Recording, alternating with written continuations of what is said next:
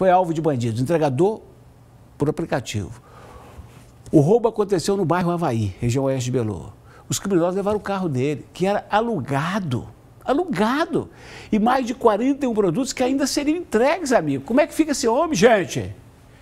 Este homem que aparece na porta do prédio e anuncia uma entrega pelo interfone vai ser vítima de assalto. E acredite, era o primeiro dia de trabalho dele. Eu trabalho de aplicativo tem um ano e meio, mais ou menos. E como estava na pandemia, estava meio ruim de corridas, eu cadastrei na Log para fazer entregas. Aquele era para ser um dia extremamente produtivo.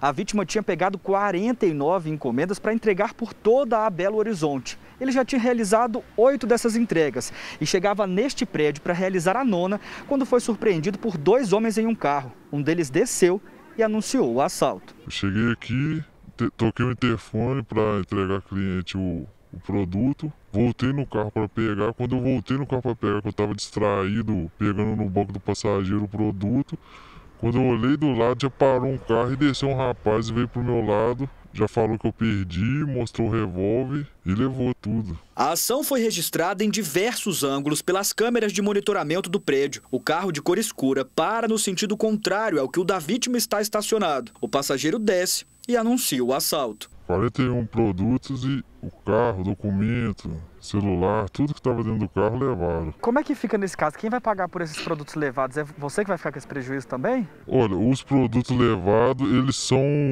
assegurados. Com o BO, a empresa consegue ressarcir o valor dos produtos. Além dos produtos das entregas e dos objetos pessoais, eles também levaram o carro que a vítima usava. O carro, por exemplo, era alugado. Se não achar o carro, eu tenho que pagar um valor de 5 mil reais, que é o do, do seguro, sabe? E o resto, o prejuízo é meu. O celular, essas coisas, o prejuízo é meu. A imagem do crime não mostra o rosto do suspeito com nitidez, mas a vítima jamais vai esquecer. O rapaz que veio pro meu, meu lado era um rapaz, um jovem, branco, de cabelo preto arrupiadinho, tinha uma tatuagem no pescoço. Ele está revoltado. Constrangedor, cara, que a gente sai de casa para trabalhar, correr atrás para alimentar o filho da gente correr do jeito certo e vem uns caras desses pra atrasar a vida da gente, sabe? Muito ruim. Agora, tudo o que ele quer é o carro de volta e a prisão dos criminosos. Ah, eu espero que ache o carro e que também prenda esse rapaz pra ele não fazer mais maldade com os outros, que as pessoas saem de casa pra correr atrás e eles querem ganhar a vida fácil